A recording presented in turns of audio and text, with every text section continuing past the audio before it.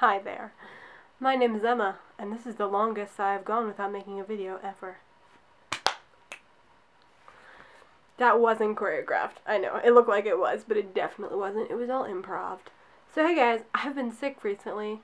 Yeah, it's been real great. You can probably tell from my beautiful Kathleen Turner-esque voice. But yes, I am sick. And I've been watching a lot of Ally McBeal. It's my favorite television show from the 90s. I also love Felicity, but I really love Ally McBeal. I watch every time I feel bad. If you haven't seen it, watch. There's a dancing baby and it's amazing. Anyway, so I wanted to do a super booktube video because I have some things um, to talk about, and if February is ending, thank Jesus up in heaven. So, yes. Yeah. Alright, let's get started. This will be comprised of three parts. One part is what I read in February. The next part is what I plan to read in March. And then there's the tiny little book haul for February. So this is gonna be fun! I need to stop talking like that. Why do I talk like that? It's not funny or entertaining to anyone but you. Well, that's the way you should do your life, Emma. Why am I talking like this? This is brought to you by allergy medication. Okay. yeah, you're like, unsubscribe.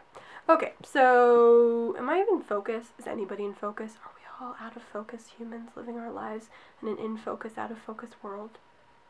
Hashtag relatable, hashtag deep. Alright, so the first book I read this month was Americanah by Chimamanda Ngozi Adichie. This book was epic. Epic in its themes, epic in its ideas, epic in its scope. That was the word I was looking for. It is about a woman named Ifemelu who, hopefully I'm saying that right, who um, moves from Nigeria to America to study, and about a period for like 15 or so years of her assimilating herself to America and our culture, and also sort of um, parallels um, her story with her first love, Obinze, and um, yeah, and it was very interesting. For me, it was a 3.54 book, um, meaning that I, I listened to an audiobook first of all, which I really enjoyed because the narrator was amazing.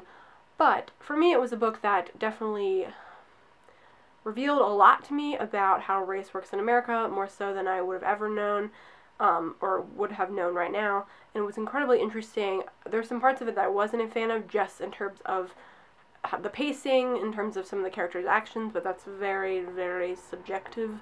So yeah, yeah, I enjoyed it though. It was an interesting read. It was an interesting read, and I really like uh, Chimamanda Ngozi Adichie's writing style, and maybe I will pick up another one of her books.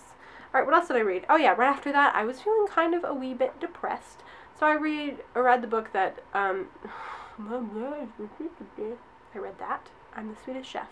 Oi, did oi, did oi. No, I read um, Romancing Mr. Bridgerton by Julia Quinn, which is a Regency era romance. It was quite a different style than Americanah, obviously. Romancing Mr. Bridgerton is part of the Bridgerton series. It's Regency era romance. I read it through the Oyster app, which I love, and I should do a video about that. I loved it. I mean, it's great. It was such an easy, quick read. I read it in a day, and I was like, whoa, this is great and wonderful, and I didn't have to think about this, and it was, it was tray fun. It was a lot of fun.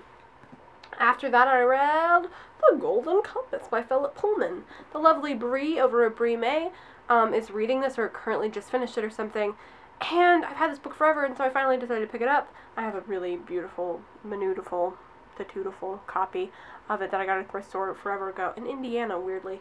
But I really enjoyed this also. Um, I've never seen the movie, I had never read the book, and I loved it. Everybody knows what this book is about. Um, I really loved Lyra, or Lyra, Lyra, is her name Lyra? The main character. She's really kick-ass. The, the story was really kick-ass. The world was really cool and interesting. I really enjoyed it. What else did I read? Okay. I read, okay. I feel like I'm missing books. Is this all I read this month? Maybe it is all I read this month. I don't know. Okay. Next I read a book that no one has ever heard of, or maybe they have, but hasn't been talked about in booktube at all. That's City of Dark Magic by Magnus Flight. This book um, I got forever ago at Books a Million for like $3. It follows a musicologist graduate student, someone who studies music, specifically Beethoven, as she goes to Prague for the summer to work on archives for the super rich, super royal family. And I have a thing for books set in Prague, so yes, please, buy me Polar. Anyway, that joke will never get old. So she ends up um, going there and some creepy, shady stuff starts to happen. People keep being murdered or, or killing themselves or what, and she doesn't know. and um, with the help of a dashing young prince and some weirdo scholars, um, they unravel the mysteries behind this creepy city and behind all these weird things that are happening. It's a really fun read. It's very exciting. It's very quick. I read it in like three days and I really enjoyed it. Yeah, it was just a really fun read and I enjoyed it. It was definitely a three star book for me because I enjoyed it but it didn't like blow my mind. Um, also, it was written by two ladies, which I like because the pseudonym is Magnus Flight, which I think is cool. But yeah, I really enjoyed this, and there was a lot of history in it, in Prague. So, um, what else? What else? What else? I am. Is that really all I've? I feel like I've finished something else recently. Man, that'd be bad if I haven't, and I just like it did not stick in my mind. I guess I haven't. I'm currently reading Ruin and Rising by Leigh Bardugo, which is a book that I've wanted to read forever. Obviously, I really like the series. It's really interesting. It's part of the Grisha trilogy. It's it's really yeah, it's really interesting, and I, I enjoy it. So yeah, I'm about probably almost halfway through. I read at the dentist today, and I am enjoying it. It is a very fun read. I like it. I like it a lot. Okay, what else? Oh yes, my TBR. Okay, I don't have a ton of books on my TBR. These are just sort of maybe because I don't stick to TBRs ever. That's the truth. My mood will change and and I won't want to read these, but these are just the ones that I'm gonna try to read for various reasons. I really want to read All the Light We Cannot See by Anthony Doerr. Everyone and their mother has read this book. Not my mother, though. So, um, yeah, I want to read this. It sounds really interesting, and I don't really want to know a lot about it because I like to go thing into things blind. Isn't there a blind on this book? Oh god, that was... Okay. Obviously that's not true. Also, I want to finish Vicious, which I started in February but did not finish. It really wasn't, like, I wasn't loving it. I liked it, but I wasn't, like, keeping me interested, so I ended up moving on and reading The Golden Compass, but I do want to finish it because it was really interesting and I was enjoying it. So I also want to read A Darker Shade of Magic, and I don't know if I'm going to like it or like V. Schwab, V.E. Schwab's writing style until I think I finish, finish, finish Vicious. Oh my golly molly Moses. This is bad. You're to be like, she's making offensive jokes, and not on purpose, and she's just crazy, and everybody's to dislike this, so I'm sorry guys. Next, I'm to read The DUFF by Kody Keplinger. I've had this book for years. The movie just came out. I want to give it a go. I want to give it a go. It's very short. Maybe I'll read it after I finish reading All the Light We Cannot See, because it'll be very easy. And then finally, a book that I want to read throughout the month is One More Thing by B.J. Novak. I've also had this book for a while. I love B.J. Novak. He's a beautiful, handsome man. And I don't know, I think it'll be funny. And I love, love, love the book trailer because Mindy Kaling's in it, and I love Mindy Kaling. So, yes, that is that. Okay, time for my book haul. This video will not end, says everyone. Um, books I've gotten this month. I've gotten a few, mostly from thrift stores. I got this for 50 cents at a thrift store. Yeah, 50 whole cents for Black Hole by Charles Burns. This is a graphic novel I know nothing about, but I'd heard of it. So, and I think it's like murdery. I don't really know, but we'll see. We'll see.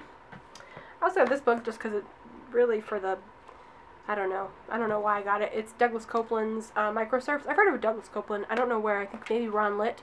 But this book is about tech people in the 90s, specifically at Microsoft. It sounds kind of office spacey, and it, I don't even know. It just sounds like it'll. I'll either get it or I will not get it at all. So it should be interesting. Um, I also got The English Patient by Michael Ondaatje. I said that wrong. I definitely did. Yeah, I've always wanted to read this. Um, the cover is meh, but you know, we'll give it a go. Um, I got uh, two finished two middle grade series, which is, which is, which is, I which is no. I got the sequels to The Golden Compass, The Subtle Knife, which is downstairs, and I don't feel like getting it, and The Amber Spyglass by Philip Pullman. I know these covers are hideous. What is with children's books and cats? I love cats, but I also got the sequels to The Mysterious Benedict Society by Trent Lee Stewart, the Mysterious Benedict Society and The Prisoner's Dilemma, and the other one, which is in my shelf, but I'm too lazy to find. Oh, it's right here. Mysterious Benedict Society and The Perilous Journey. So, yay! Book hauls and fun. So, what are you reading? What have you read? What are you book hauling? What are you feeling? What is life? What is meaning? What is, what is the end of a Tootsie Pop? That went nowhere. If you haven't seen some of my recent videos, check out my Jeff Goldblum tag it made me giggle. So that's all I really care about. Um, yeah. Anyway, have a wonderful day.